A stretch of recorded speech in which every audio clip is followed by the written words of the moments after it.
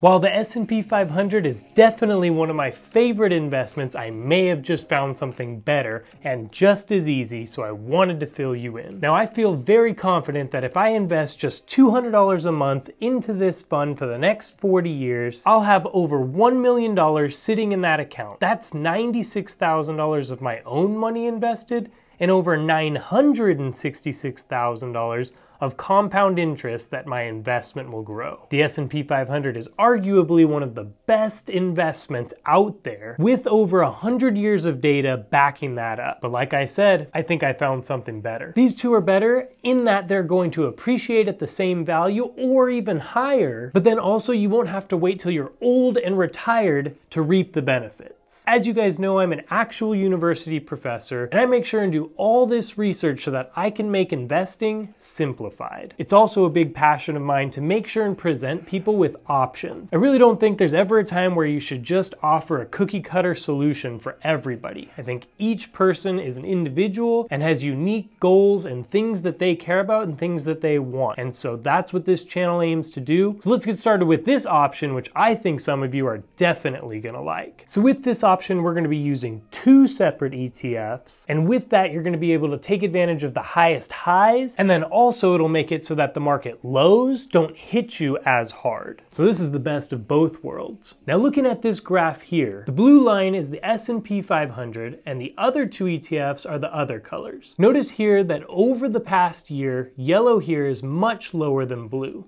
But when we look at the last 10 years, yellow is much higher than blue.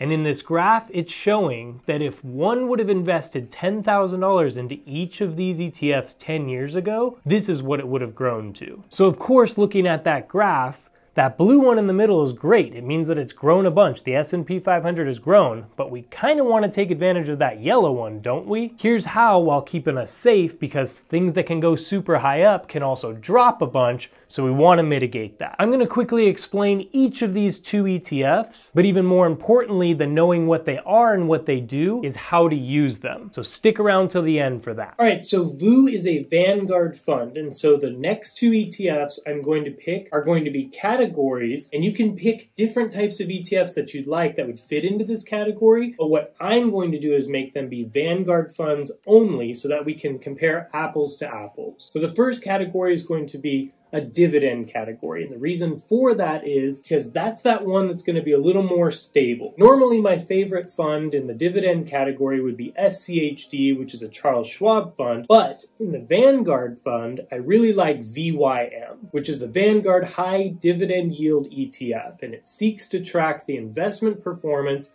of the FTSE High Dividend Yield Index. VYM has a dividend yield of over 3%, and the dividend is paid every quarter or every three months. This ETF has grown almost 10% average appreciation every year for the last 10 years. A lot of the companies in the fund are things high in financials and healthcare, and this is so important for consistency. The top 10 companies are huge, solid companies such as Johnson & Johnson, JP Morgan, Procter & Gamble, and Home Depot. One of the biggest things you want to look for when looking at an ETF is an expense ratio, and this one has one of the lowest possible at 0.06%. As a side note, right now is an awesome time to be looking at buying this ETF because it is in super value territory and it's incredibly cheap. Now, there's two important reasons why you want to have this dividend style category as one of your main ETFs. The first one is to keep that volatility low. It's definitely not going to be one that totally shoots up but it's also not going to super drop when things are going bad. So consistency is key. The next thing is just cash flow. Once you've built this thing up a little bit for a couple years, you can start taking passive income in the form of these dividend checks, and you can just sit back and do nothing for the rest of your life and continue to get these checks that just come in every quarter. I'm going to talk more about that after I tell you about this next ETF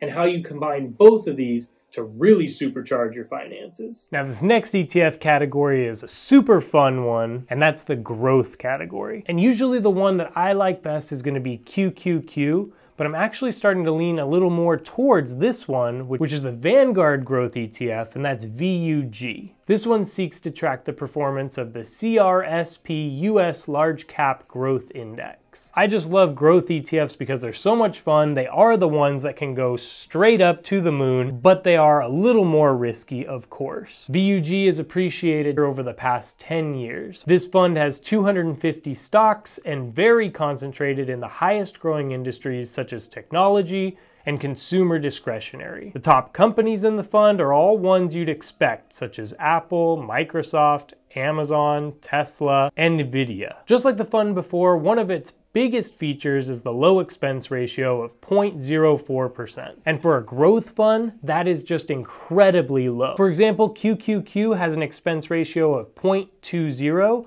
which is five times more expensive than VUG. And then one of the most famous ones today, which is ARK, has an expense ratio of 0.75, which is almost 20 times more expensive than VUG. And those fees really add up and take away from your profit. So please look at the expense ratio as one of the first things you look at when one of your friends tells you that you should go invest in this ETF. So like I mentioned before, one could just invest in VOO forever, that one ETF, and after 30 or 40 years, you'd have a nice little nest egg. But by only investing in that one, you're missing out on that possible crazy growth potential and possible passive income whenever it is that you want it. So if you want to start reaping some of the benefits of all of this investing you're doing now, and you'd rather see that in 10 years or 20 years rather than in 40 years, you might just want to rethink this strategy. So let's do an example. If you were to invest $100 per week into VOO, into that S&P 500 fund, which on average brings about 10% every single year, in 20 years you'd have $274,920. That's pretty good, almost $300,000. Not bad for $100 a week or $400 a month. So now, if we have that $400 a month to invest, we're gonna put 200 of that into the dividend fund, which is VYM, and we're gonna put 200 of that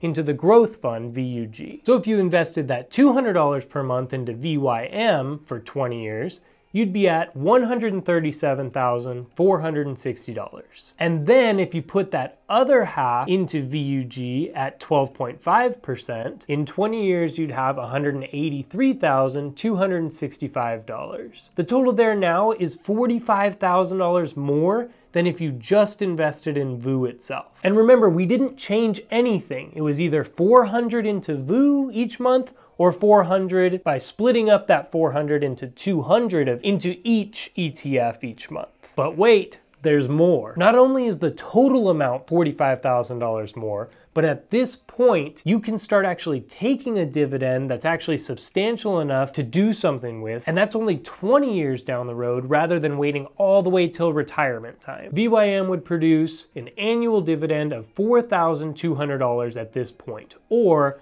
a free $350 per month. You could either keep reinvesting all that money into the fund and just let it super grow and then 5, 10, 20 years down the road from that, be able to totally live off of that passive income. Or you just get a free $350 every single month for the rest of your life for doing literally nothing. Then you still have that growth fund cooking, and after the 40 years of just $200 in VUG, you could have $2,115,820. Now I know most of you are thinking, yeah, but that's 40 years away. That's way too long to wait. Cool. And if you want it faster, there is a way, and I'm gonna share that secret now. All three of these ETFs are winners, and if you're investing even $10 a month, you're already way ahead of most of your friends and just most people overall. But if you have a real goal to be financially free and supercharge this investing journey and do exactly what I did, which was be able to invest a substantial amount of money each month so that my money could actually work super hard for me, then what you need to do is watch this video now and do exactly what it says today.